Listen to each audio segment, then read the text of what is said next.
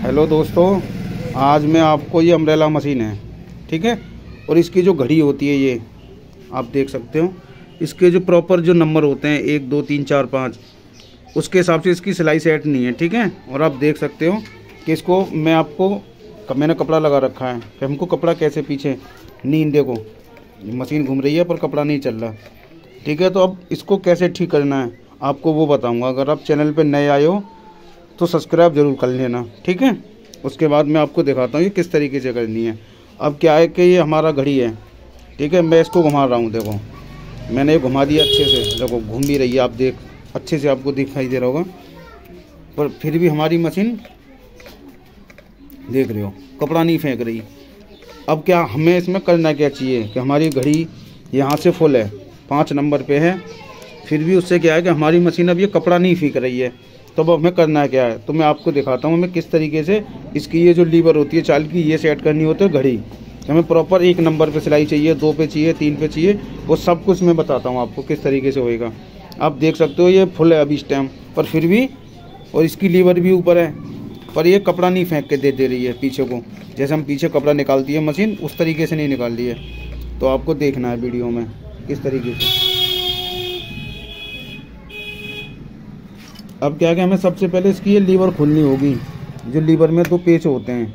एक यहाँ होता है और एक इसके पीछे होता है। तो उसको बाद क्या है हमें इसे पूरी खोलने के बाद इस तरीके से इसको यहाँ पे बांधेंगे। ये हमारी बॉडी से ना टकराए। अगर बॉडी से टकराएगी तो टूट जाएगी। थोड़ी सी बॉडी से नीचे रखनी है हमें ये। तो हमने ये रखी बॉडी से थोड़ी सी नीचे। और इन पेचों को अच्छे से टाइट करने होते हैं हमें। ये जो लीवर के पेच होते हैं दोनों। आपको ये दिखाऊँगा मैं। देखो ये जो पेच होते हैं लीवर के, अच्छे से टाइट करने हैं। एक तो ये, एक इसके पीछे होता है। तो उसके बाद क्या है? देखो, एक पेच यहाँ आ रहा है ये। ये भी मैंने टाइट कर दिया अच्छे से। अब आप देख देख सकते हो कि मशीन हमारी अब ये कपड़ा फीकेगी। पीछे को कपड़ा निकाल लिया आप देख, अच्छे से देखो। अब क्या है कि ये पाँच नंबर पे निकाल लिए ठीक है? अब क्या है कि इसको हम इस तरीके से देखो आप। देखो, पाँच पे। अब देखना, इसकी लीवर भी नीचे आ रही है। इसको थोड़ा नीचे लो, फिर इसको घुमा दो इस तरीके से। अब क्या है कि देखो, अब हमारी मशीन जो सिविल की जो होती है, जो टेलर भाइयों के लिए, उस तरीके की इसकी सिलाई आ रही है।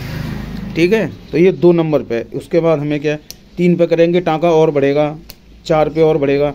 अब देख सकते हो, ये जैसे ये घूम रही है लीवर भी ऊपर जा रही है, देखो। ठीक है? उसके बाद क्या है तो हमारा भी ये कपड़ा उस, उसी तरीके से कपड़े को फेंकेगी जितनी बड़ी हम सिलाई करेंगे यहाँ से घड़ी पे से। तो आपको अच्छे से समझ में आ, आ गया होगा कि हमको ये करनी कैसे बस सिंपल सा काम होता है। ठीक है? कभी कभी क्या होता है हमारी जो घड़ी की जो पिन है मशीन चलते में ये घड़ी घूम जाती है इस तरीके से। तो मैं बता रहा हूँ कि पिन को कैसे ठीक करना है। क्योंकि फिर आपकी कभी भी जो मशीन कपड़ा फेंकती है तो उसमें दिक्कत नहीं आएगी कभी सिलाई छोटी बड़ी होने का चांस ही नहीं रहेगा। तो आप देखना वीडियो में। तो दोस्तों देखो, ये इसकी पुरानी है। अब इसमें क्या है कि इसकी ये नोक नहीं है। आप देख सकते हो वीडियो में। तो इसकी नोक नहीं है तो क्या है कि हमारी घड़ी जब मशीन चलेगी तो घड़ी घूम जाएगी। जो घड़ी में खांचे होते हैं, उसमें रुकेगी नहीं। ये इसकी नई पिन है। इसमें ये खांचा, ये पेनी नोक है इसकी। तो इससे क्या है, जो घड़ी में खांचे उसमें रुक, अगर रुक जाएगी। और अगर तुम्हारे पास इसकी नोक मर गई है, पिन की अब नोक कैसे बनाए? तो किसी भी एक पत्थर होता है, उस पर घिस के इसकी नोक बना सकते हो। अगर फिर भी नहीं होती तो ये स्प्रिंग होती है इसकी। इसको इस तरीके से तान के और यहाँ पे लगाओ इसमें। लगा के फिर ये लगा दो आराम से। तो फिर जिस तरीके से आप देख देखना कि इसमें आवाज़ आएगी घड़ी में। ये जो कट कट की जो आवाज़ आ रही है इस तरीके से आवाज़ आएगी। अगर इसकी नोक बन जाएगी तो पिन की।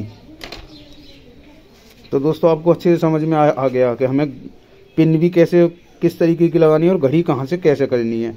अगर हमारी घड़ी फुल है और मशीन कपड़ा नहीं निकाल ली है तो हमें ये लीवर के पेज ढीले करके करनी है। बस, सिंपल काम है ओके